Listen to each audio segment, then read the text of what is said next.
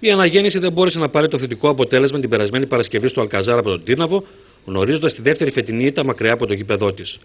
Στην ομάδα της Καρδίτσας, αφού έκαναν την αυτοκριτική τους και αφού διέγραψαν από τη μνήμη τους τόσο την εμφάνιση όσο και την ήττα στο Αλκαζάρ, έστρεψαν το βλέμμα τους στο μάτι τη ερχόμενης Κυριακής με τον Εθνικό Γαζόρο. Κόντρα στην ομάδα των Σερών, οι κυτρινόμαλοι θα επιδιώξουν την επιστροφή τους στις νίκες που θα διατηρήσει το απόλυτο στην έδρα τους, αφού στο δημοτικό στάδιο μετρούν τρεις νίκες σε εισάριθμους αγώνες σε κύπελο και πρωτάθλημα.